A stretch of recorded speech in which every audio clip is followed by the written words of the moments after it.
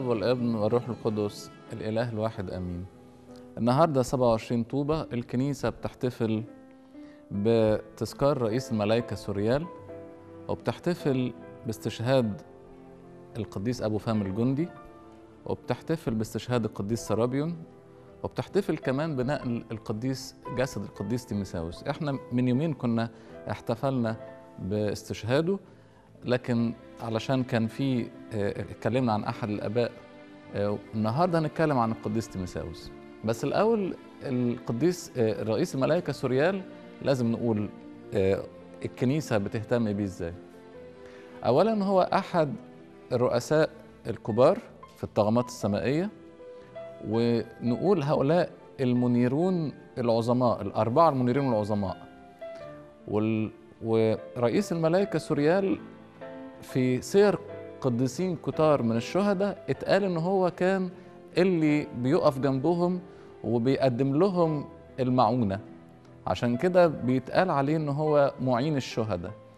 بجانب إن الموضوع الكبير الرسالة بتاعته إن هو بي... بيقول المبوق بالفرح. يعني اللي معاه البوق وبيعلن الفرح. عشان كده هو اللي هيبوق في المجيء الثاني بيعلن مجيء المسيح وهيبوق أيضا يعلن الأبدية السعيدة. عشان كده هو اسمه مرتبط بالفرح دايما المبوق بالفرح.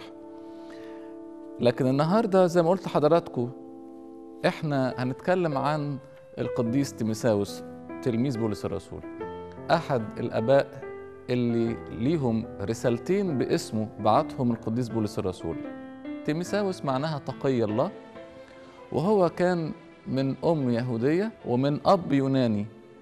ولأنه أبوه يوناني كان وثني فهو ما كانش مختتن يهوديا. أمه اسمها أفنيكي وجدته لوئيس لأن بولس الرسول قال أسمائهم دول علامة على إن هم سلموا الإيمان وسلموا الكتب المقدسة بتاعت العهد القديم لتيمساوس الرسول. وآمن على العيلة كلها أمنت على إيده الجدة والأم وتيمساوس الرسول في رحلة بولس الرسول الأولى لما راح ديربة ولسترا. هما كانوا من من من سكان لسترا. القديس تيمساوس آه لما راح بقى بولس الرسول ليه في المرة الثانية أخدوا معاه كخادم. اعتبره أحد أولاده وشوية شوية وجدناه الابن المحبوب كمان ليه. عشان كده يقول عنه مثلا ابني ويقول عنه في رسائل الابن الصريح في الإيمان ومرة تانية يقول عنه الابن المحبوب.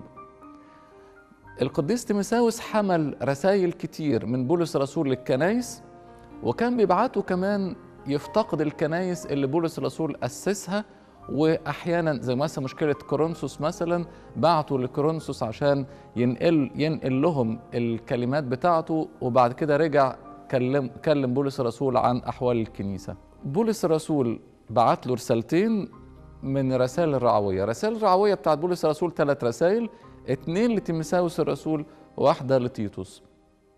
والرسائل الرعوية دي هي اللي خلتنا نفهم فكر بولس الرسول في رعاية الكنيسة إيه. وضع عليه اليد علشان يكون راعي كنيسة أفسس سنة 63 ميلادية يعني قبل استشهاده بحاجة قليلة قبل استشهاد بولس الرسول.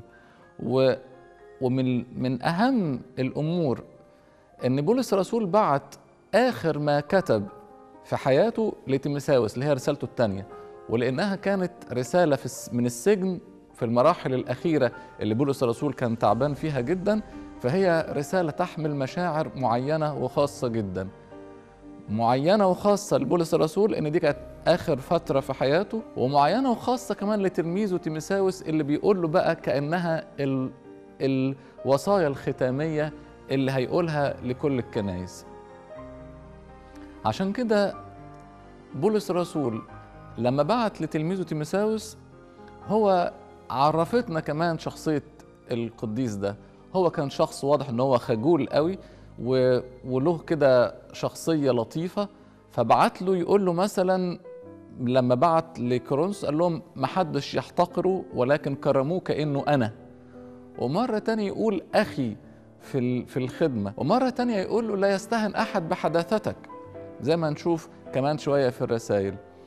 آه، آه، قعد تيمساوس الرسول. أسقف على أفسس لحد أما وصل سنه 80 سنة وفي بعض المراجع تقول لحد ما وصل 97 سنة.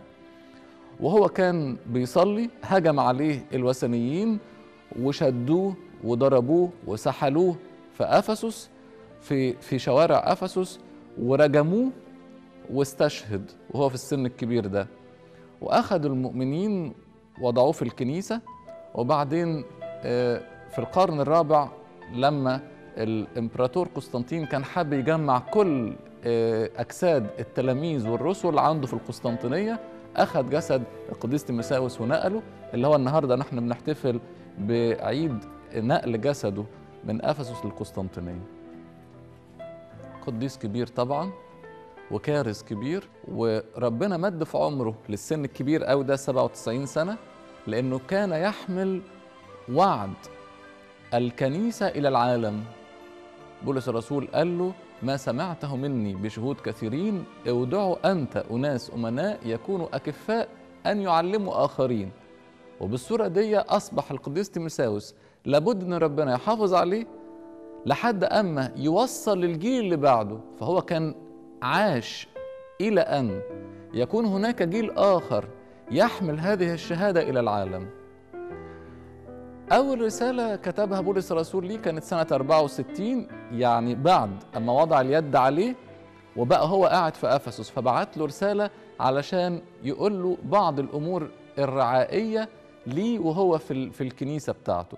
وهو كان وقتها بولس الرسول خلاص فاضل له سنتين ثلاثة ويستشهد وهو كان عارف ال ال الكلام ده. فحط له أساسيات الكنيسة أو حط لنا إحنا كمان أساسيات الكنيسة. فقال اولا الكنيسة هي بيت الله الرسالة الأولى لتيموساوس فيها ال- الأفكار دي إن الكنيسة هي بيت الله. لفظ لطيف قوي ولفظ محبب لينا. حتى إحنا نقول لأولادنا الأطفال كده خلي بالك الكنيسة بيت ربنا. ده مش ما جاش من فراغ ده تسليم رسولي. الكنيسة بيت ربنا بيت الله.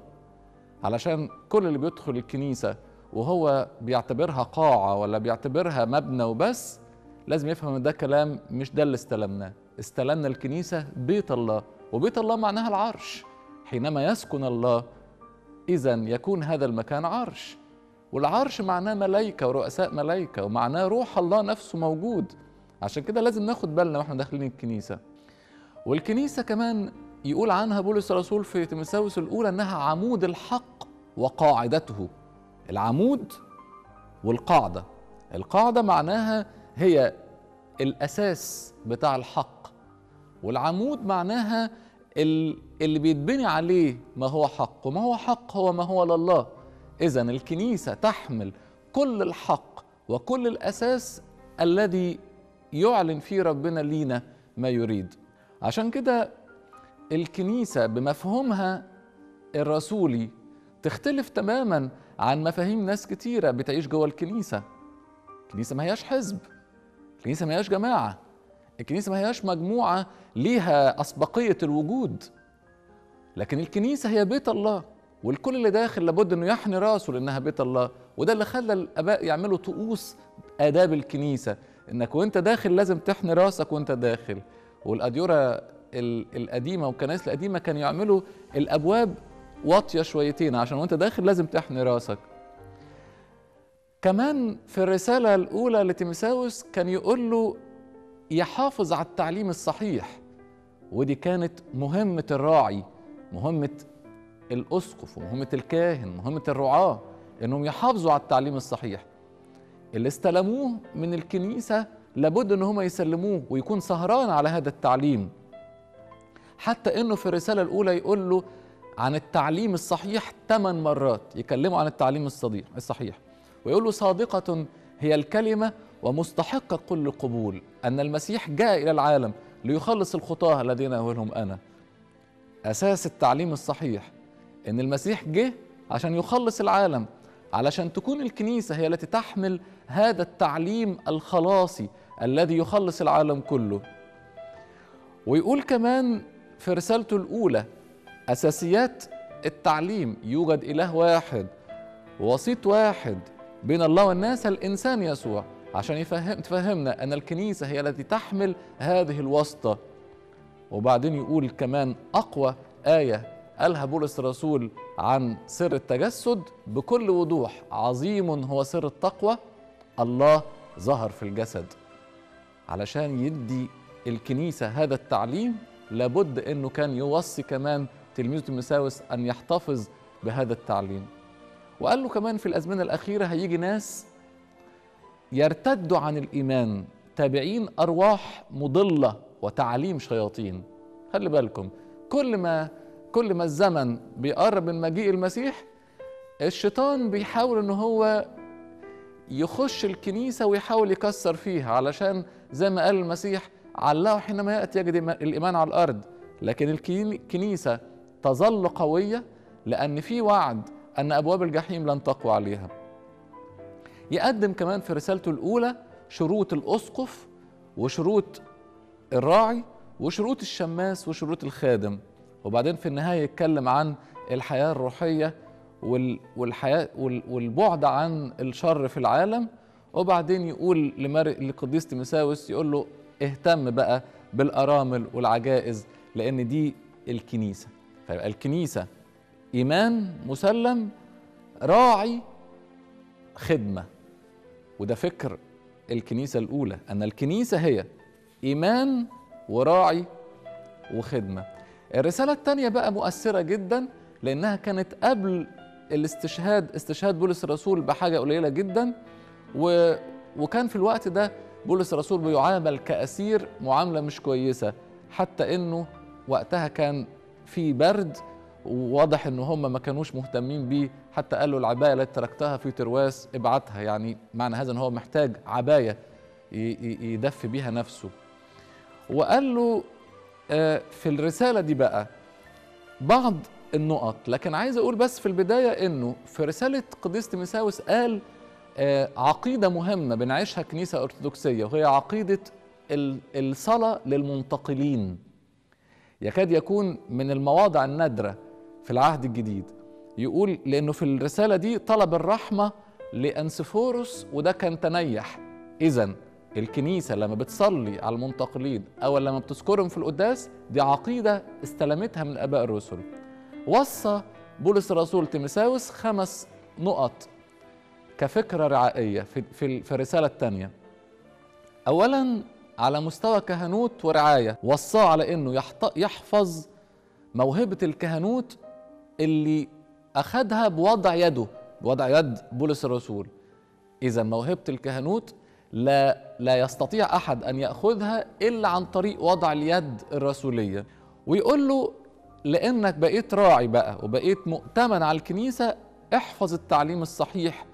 وكلمة صحيح دي معناها المستلم اللي هو الأرثوذكسي. كلمة أرثوذكسي معناها اللي استلم الإيمان وتمسك بيه. ويقول له على الإيمان الوديعة. وديعة دي بنقولها على شيء غالي قوي واحد بيسلمها لواحد وهو ده الإيمان. ويقول له الآية اللي قلته قلت لحضراتكم عليها ما سمعته مني بشهود كثيرين أودعوا أنت. ناس أمناء يكونوا أكفاء يسلموا آخرين. بقول دايما الآية دي فيها أربع أجيال.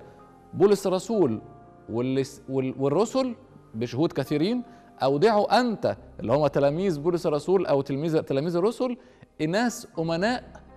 دول من الجيل اللي بعد الآباء تلاميذ الرسل يكونوا أمناء يسلموا آخرين الجيل الرابع.